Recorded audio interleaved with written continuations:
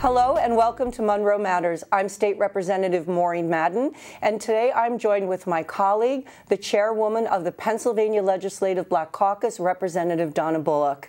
Hi, how are you, Maureen? I'm well, Donna. Good morning, and thank you for agreeing to join me today on the, for this show.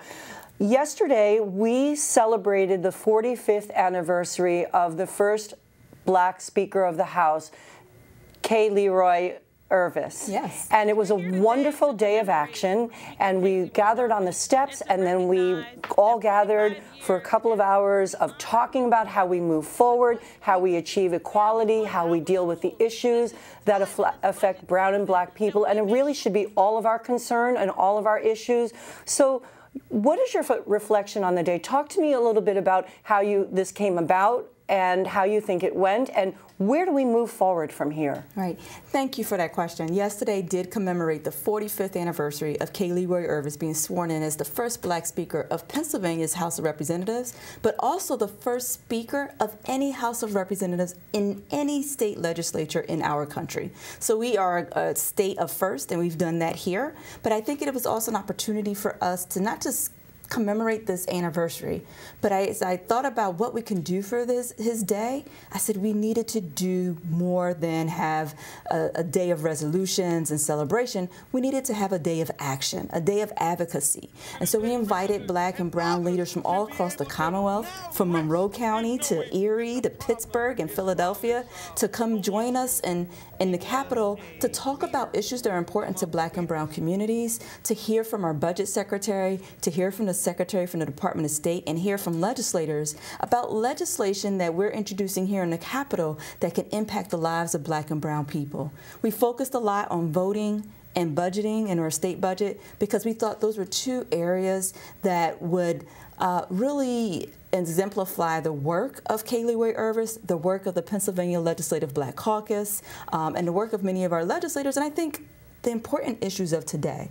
You know, making sure we protect and expand one's right to vote so we can elect a diverse and reflective legislature that looks like Pennsylvania, but also looking at how we invest in Pennsylvanians through our state budget. Where do we put dollars so that we can increase affordable housing in our communities? How do we invest in, in schools, fair funding formulas so we can have fair and, and equitable education across the Commonwealth? How do we invest in small businesses, predict, uh, uh, predominantly black and brown owned businesses? And how do we invest in our communities? And so we were really excited to have all of these amazing leaders, clergy, small business owners, um, nonprofit organization leaders, elected officials all across the Commonwealth join us for that conversation. Uh, and I think it's a great start to many conversations to, to have in the future. It was a, it was exciting. Um, I'm honored to be an affiliate member of the Pennsylvania Legislative Black Caucus. I represent approximately 20% of the, my district is brown and black people. We have a very strong community of, you know, our president Krista Caceres was there, the vice president Tamiko Patterson from the Monroe chapter of the NAACP. We're also very very fortunate to have NCNW, the National Council of Negro Women. Um, the Delta Sisters are extremely active in our community, as are the Pocono chapter of Jack and Jill. And around the time of um, George Floyd's death, we had a march from Stroudsburg to East Stroudsburg of 2,000 people came out, and it was peaceful, and Congressman Matt Cartwright joined us, and we gathered on the steps of the courthouse in Stroudsburg, and as you said, it can't be just a resolution. It can't be a gathering. It harkens back to what Dr. King said with the March on Washington. We can't just be proud of ourselves that we all gathered here three quarters of a million people and go back to our communities and say, look what we did. We have to follow it up with a day of action. In my community, that's what we did. President Krista Caceres, you know, gathered we, we did you know virtual meetings and we had pastors and different people and we and we we worked on the bills that we had passed in the house last session and really felt like we had achieved something beyond the gathering. Absolutely. It is because of gatherings like the one you described. It's because of people across this Commonwealth who marched to their city halls and their courthouses, who marched in the streets of their small towns and big cities all across this state during that time of protest, during that time of asking for justice following George Floyd's death. Is because of that that legislators here in this caucus, uh, the Black Legislative Caucus and others, stood before our own legislative body and demanded that we moved police reform bills. And, and we could not have done that work had we not seen the movement that was happening in, in, uh, in small towns, in big cities, in suburbs, in some of the most rural communities who were asking for justice, who were asking for police reform. It is that work that allowed us to come back to this legislative body and say, we demand movement on police reform bills that have been sitting in the House, have been sitting in the Senate, and we got it done. And we, I say it every time yes, legislators move to get those bills passed, but it's the work of the people that got us to a point that all of our colleagues realized it was time to get it done. Um, and so that movement, the work of Pennsylvanians, just like folks in Monroe County, it is important that we continue to listen to our, our constituents. And yesterday's um, you know, day of action was another example of us listening to our constituents. The Pennsylvania Legislative Black Caucus really tries to do that as much as we can. We have listening sessions, virtual meetings, other opportunities to, again, listen to the people of the Commonwealth. Absolutely. And if we're listening to the people of the Commonwealth right now, they are concerned very concerned about their voting rights being stripped. And we spoke, you spoke yesterday a little bit, as did Leader McClinton, about her bill, the K. Leroy Irvis Voting Rights Act.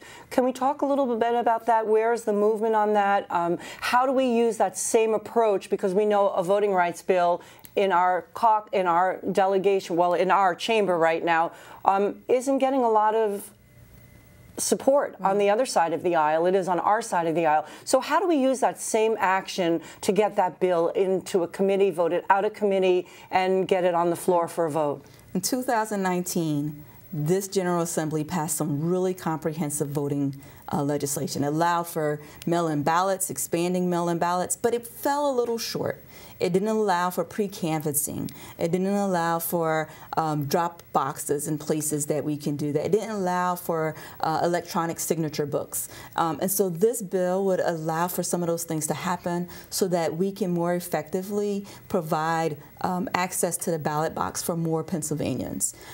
The concern is that after we passed that legislation, bipartisan piece of legislation, we had a very um, you know, historic moment, uh, monumental moment in elections. We elected Joe Biden in 2020. Some folks weren't quite happy with how that election went down. And and, and what I think we can go back to is we didn't expect in 2019 or in 2020 when we passed that legislation that in 2020 many people were going to be looking for mail-in ballots during the pandemic. Mm -hmm. And so there was an increased use of mail-in ballots from folks who may not have looked like other folks you know, from people of color, from from the cities, from um, folks who voted in ways that I agree and maybe you agree as well, and and and and they watched those votes come in in 2020. And so I, I tell people all the time, if you think your vote didn't matter, if you ever want to say my vote doesn't matter, go back to the night in November of 2020 when we all sat and watched on TV as we counted votes in cities like Philadelphia and cities like Detroit and cities like Atlanta, many black and brown cities, cities where our votes did matter. It mattered so much that in Philadelphia we had folks driving across the country to stop the count to stop the count of black and brown votes in the city of Philadelphia.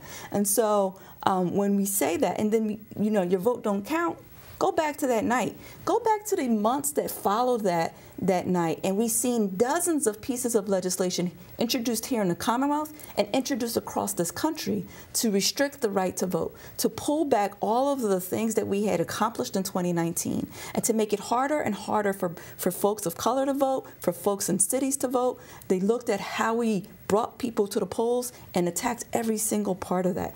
I mean, things as simple as you can't feed people in the in the polling line mm -hmm. that's waiting to vote. Can't feed them mm-hmm. because that were things that made people comfortable so that they would wait and they would wait for hours to cast their vote. I will say, if we want to get a bill passed like the K. Roy Irvis Act, if we want to make sure we are protecting our rights to vote, we need to make sure that the folks that were marching in 20, 2020 or were marching in 1965, that we continue to do those kinds of marches, that you call your legislature, uh, that you call your senators and your state representatives, that you let them know how important your right to vote, your access to the ballot box is to you so that they don't take that right from you. You're absolutely right. And just to touch on that, the voter suppression is a national movement, and it really started with the Supreme Court rolling back so many of the protections of the Voting Rights Act of 1965. So we're going to need a George Floyd type of national movement where brown, brown and black people and even white people say, we, we can't go back. We have to add more access. We need more drop boxes, not less drop boxes. We have to expand. We have to make sure that there's enough, you know, mail-in ballots because we ran out of mail-in ballots mm-hmm. in in 2020. So we really have to work hard and we have to bring into people into the fold. And you're exactly right. People have to call their legislators and they have to say, "We want this bill." So. Um, you know, at the end of the show, we'll be putting my number out there, and hopefully, people will start calling. And we're happy to share any legislator's number so that we can get that moving forward.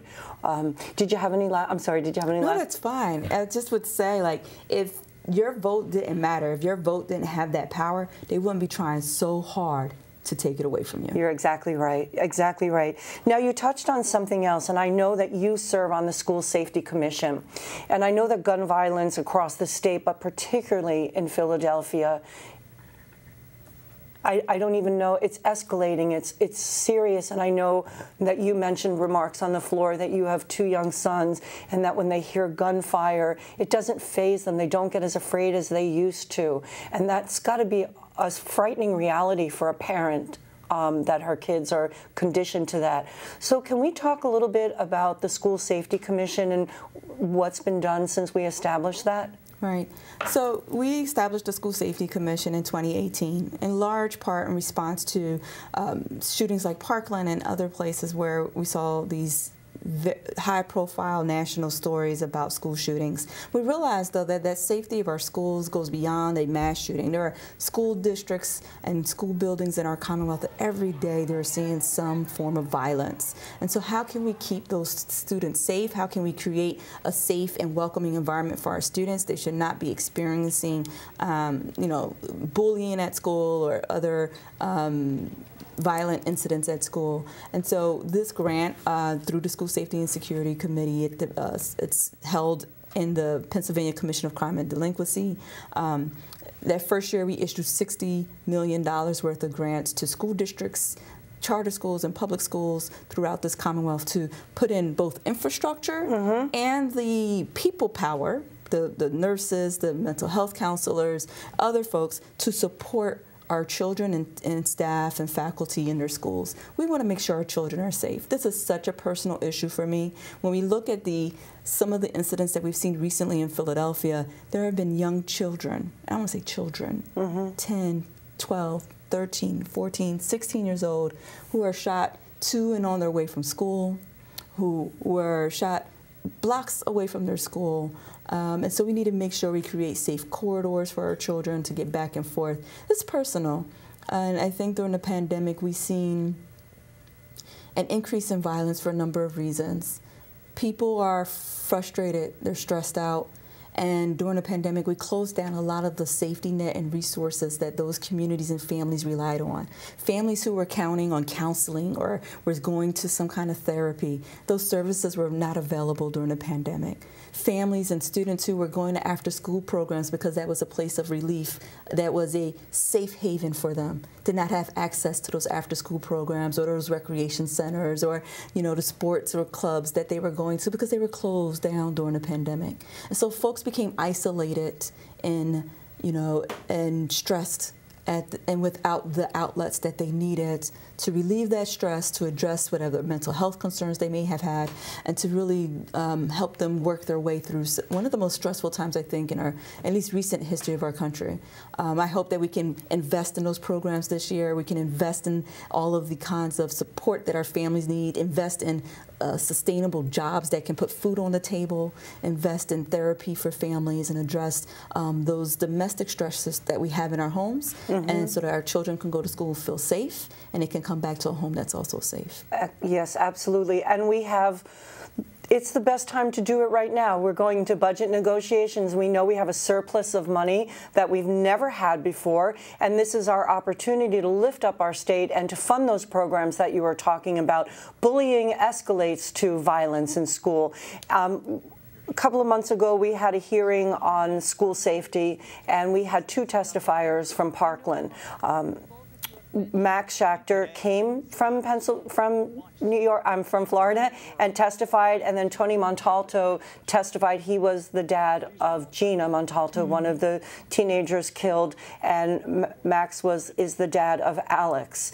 And it was really heartbreaking testimony. And then Tony Montalto had to come to Pennsylvania um, for other business and sat down with Geoff, my delegation director, and spoke about you know what they've done because Florida who only meets, I believe, for 60 days, their session, has passed a new bill every single year on school safety around Parkland, and um, since the Parkland shooting. And it's really impressive what they've done. And four out of five of those bills were sponsored by a Democratic legislator who was actually the mayor of Parkland at the time. Mm -hmm. And I traveled to Parkland for the commemoration and met and saw all the different memorials that they did and ceremonies that they did. It was really heartbreaking.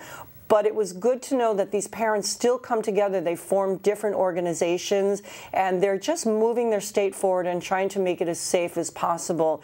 And I really appreciated them coming and testifying. And Tony sat down, like I mentioned, with Geoff, and we have about a 12 minute interview with that. And we're going to go to that right now and um, take a look at that and listen to, um, listen to what he had to say.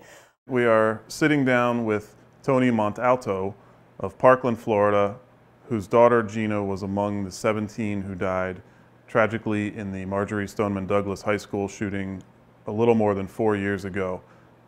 Tony has been in touch with Rep. Madden and, our, and her office about legislation that they've successfully passed in Florida to make schools safer. And, and Tony, I want to first thank you for reaching out to us and being part of this and working with us to help make schools safer in Pennsylvania. Uh, I would like to start by asking you to tell us a little bit about yourself, your cause, and most importantly, a, a little bit about your daughter, Gina. Well, as you said, I'm Tony Montalto. I'm the president of Stand with Parkland, the National Association of Families for Safe Schools. We were founded by the families that uh, lost a loved one in the uh, Marjory Stoneman Douglas High School uh, massacre back on uh, Valentine's Day of uh, 2018. Um, our group uh, came together because we realized that the status quo wasn't working and we've been successful in legislating different laws in Florida as well as nationally, also in, in New York and Pennsylvania and in uh, New Jersey, and hopefully now uh, continuing on in, in, Pennsylvania in our attempt to make uh, school children and teachers safer in your state. Um, we do this to honor those that were lost that terrible February day, including my daughter, Gina Rose Montalto. She was a 14 year old freshman. She was a bright kid, straight A student. She had a smile that lit up the room. She was uh, friendly. Um, she was a Girl Scout. She was part of the uh, school's color guard team, mm-hmm. and uh, we miss her every day.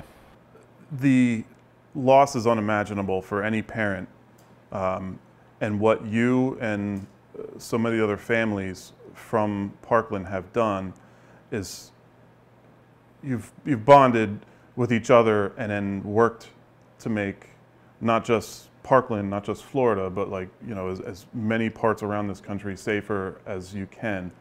Uh, what were some of the initial uh, goals, and how did how have you gone about achieving success, especially in you know rabidly bi or uh, uh, partisan arenas? So, Stand with Parkland is uh, uniquely inclusive. We're nonpartisan. We look at safety as a uh, something that benefits everyone. Um, so, uh, by our nature, we uh, we talk to everyone willing to make schools safer. We invite them to work with us, to work together, uh, to provide uh, improved safety for all students and teachers we do this by looking at what we call the school safety triad, and that's uh, improving uh, security on the campus, um, improving mental health screening and support programs, and finally, if you choose to own one, we need you to uh, be responsible with your firearm. Um, that uh, school safety triad is uh, something that we were able to work with. It's something uh, we were able to pass shortly after the shooting in Florida with the Marjory Stoneman Douglas High School Public Safety Act which uh, encompassed all three of those areas, uh, specifically regarding school safety. It gave us what we had in Florida is a uh, school safety specialist designed to uh, for each uh, school district to have a single point person to make sure that the laws that are passed in the state are being passed down and worked on in the communities. Um, it also addressed improving the uh, perimeter security of the schools as well as uh, providing more uh, money and uh, counselors for our students in schools. One thing I heard you say uh, when we were talking is every school where this has happened has had one thing in common, and that's the fact that they didn't think it could happen to them. And I know you know, the people who might be watching this think of this as a problem that's happened elsewhere, whether in Parkland, Florida, or Oxford, Michigan, more recently, uh, and countless other places around this country. But until it happens to them, it's it's somebody else's problem. And I don't want to, you know, be crass about it, but you've had to fight through some of that and bring people on board from from across the aisle, from you know various walks of life. You're uh, you mentioned the inclusivity of your organization. Um, the challenges that we all expect anything uh, that when you're trying to get legislation done, uh, you've you've overcome. Uh, the, the key key ways to, that you've managed to do that are what? Well, we try and remind people that uh, again, safety is nonpartisan and it's it's good for everyone. Um, when people talk about the cost of some of our programs, we say, what's the cost measured against the millions of children and teachers that are saved by these uh, processes that we put in place with uh, effective legislation to prevent school shootings? We have to, um, one of the things that Stand with Parkland does is, is we look for solutions. We don't look for problems. Um, when problems are presented, we're going to work with the legislators in various states and then the federal government to find solutions, um, whether it be funding, whether it be uh, objections from certain groups. Let's find those, talk about them, and address them, and get the bill passed. Yeah, you've accomplished so much already, which, if you can, please visit standwithparkland.org. Uh, there's, it's a great website that has a lot of really good information, resources, uh, information on bills that you've that you've passed in Florida and other places. Um, but with everything you've accomplished already, what stands out? Something that stands out to me is this is not over. Your advocacy doesn't stop because you got so many bills. I mean, you're you're forever going to have Gina as part of your your life and your uh, and your motivations and your inspiration. Uh, so what more do you want to see happen? What, what's, what's the, uh, what are the ultimate goals? Well, the ultimate goals would be uh, for Stand with Parkland to put itself out of business, whereas all children and teachers were safe.